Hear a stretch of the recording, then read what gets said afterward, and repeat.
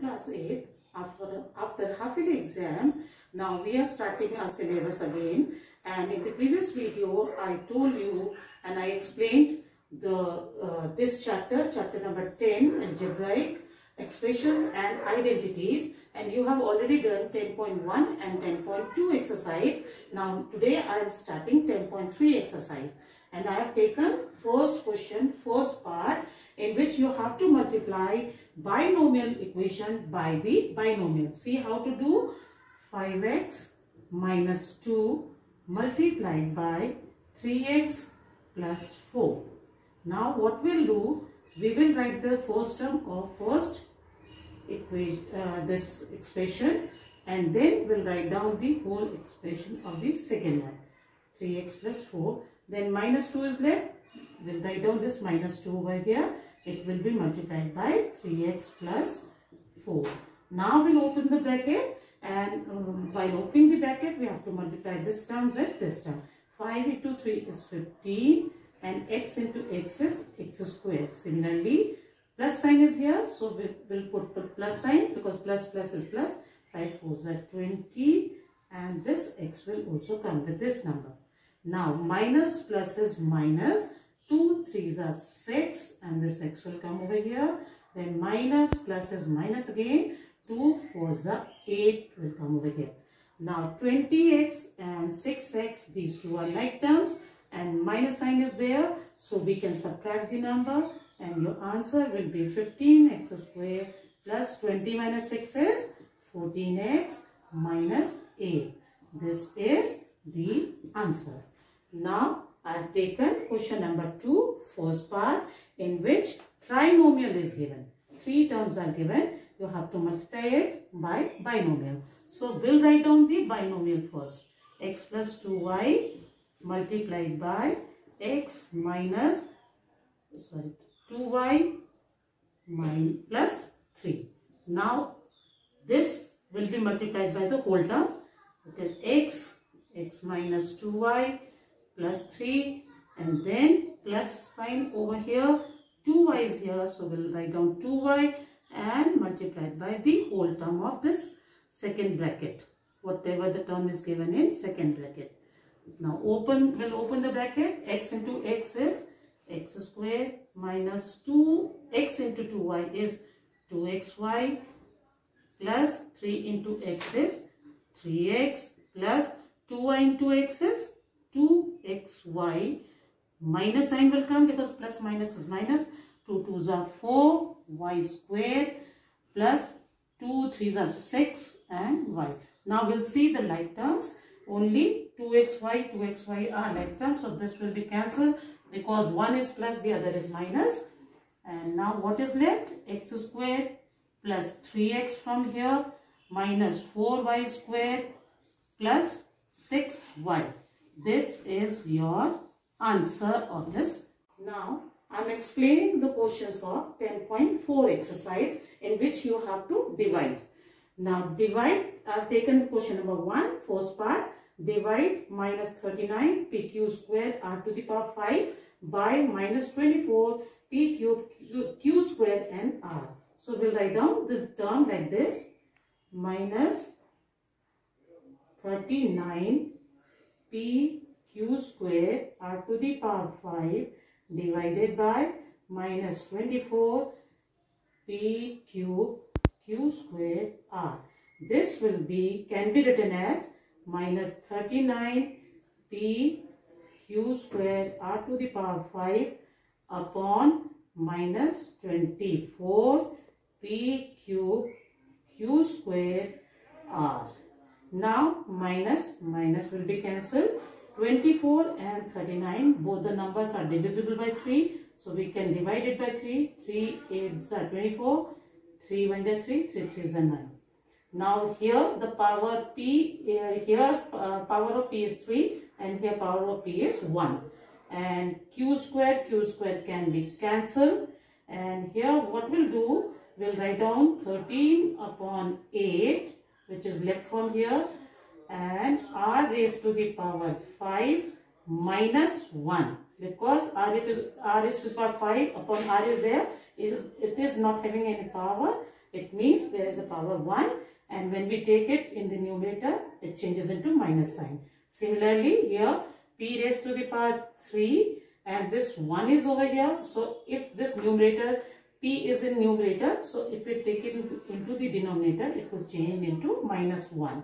So, the answer will be 13 upon 8 r raised to the power 4 upon p raised to the power 2. This is the answer of this question. Now the uh, question number 2 first part. Here 1, 2, 3, 4 terms are there and it has to be divided by 3x. So it will be written as 9x to the power 4 minus 8x cube minus 12x plus 3 this whole term divided by 3x. Now how will it divide? We'll take this 3x below all the terms minus 8x cube upon 3x minus 12x upon 3x and plus 3 upon 3x. Now 3 number will be cancelled. 3 3 is a 9. Here 3 4 is a 12 and this 3 1 is a 3. So what will left from here? 3x to the power 4 minus 1 as we take this x to the numerator. Minus 8 upon 3 x to the power 3 minus 1. Here x x will be cancelled minus 4 is left plus 1 upon x is left over here. So this will be 3 x to the power 3 minus 8 upon 3 x to the power 2 minus 4 plus 1 upon x. This is the answer of this question. Now see question number 3 first part in which you have to divide the trinomial by the binomial. So you will write down the number 6x square plus 13x plus 5 and it will be divided by 2x plus 1. Now see over here how to divide this trinomial by the binomial. You will see the first term of the divisor.